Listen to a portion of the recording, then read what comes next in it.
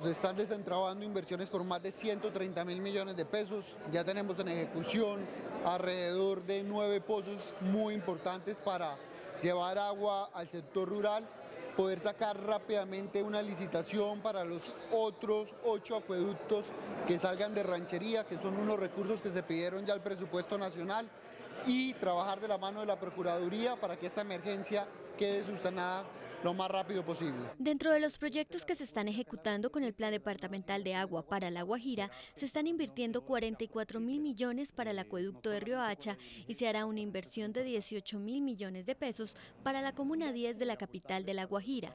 Para presentar el proyecto a viabilización, se dispuso el próximo 8 de septiembre. Estamos mejorando la presentación del servicio, lo que vemos es que ya se están atendiendo de una forma mucho más coordinada las diferentes rancherías, el sector rural y ya estamos prestando mejor servicio en el área urbana.